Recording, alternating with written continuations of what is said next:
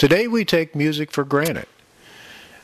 Every place you go, you're surrounded by music. It doesn't matter whether you're in the elevator, it doesn't matter whether you're in the grocery store, at home.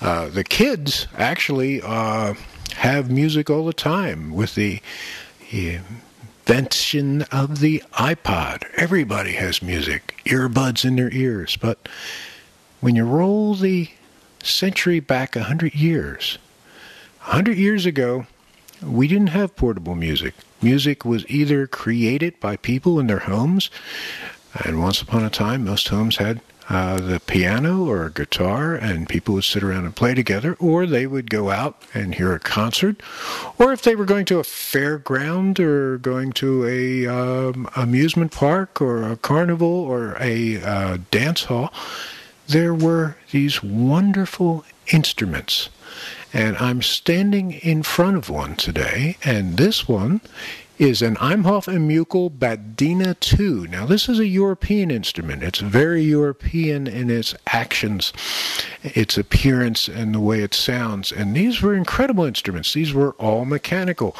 They had pipes in them, they had percussion in them.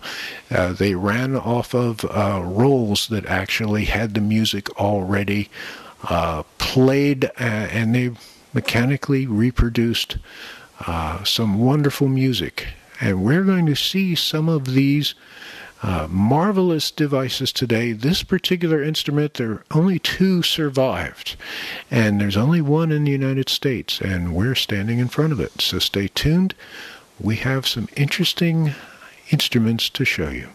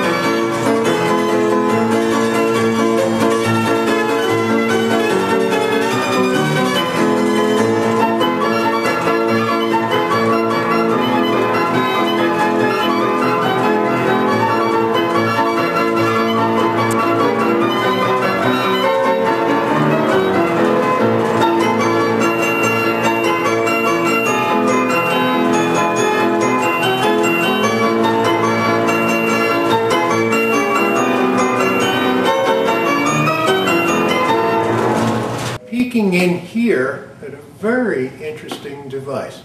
This actually is a German-built three-monkey automaton.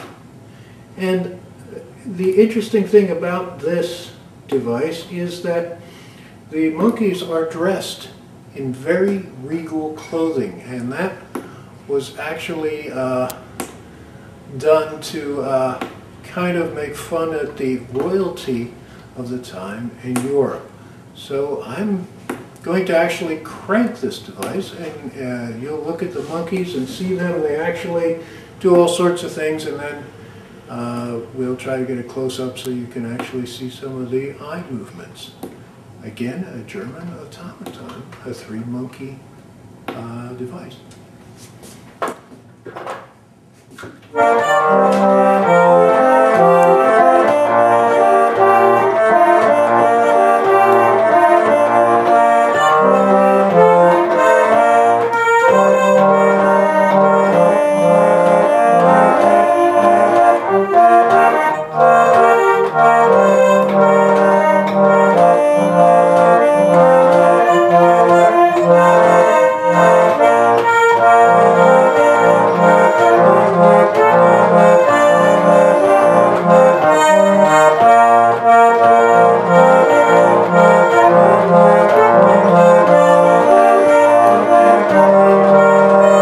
This instrument is so large that uh, we're actually going to have to show it to you. I'm going to have to move the camera around it. We're in a uh, a uh, confined space, so we're we're not really able to get the camera out far enough and the lights out far enough to to capture the entire instrument. But it's a Dutch fairground organ, uh, and it was actually built three years ago, but the carvings date back into uh, the 1930s. So this is a relatively new version of one of the uh, fairground instruments that you would find. Uh, that would be providing uh, entertainment and uh, music uh, for the festivities of the day.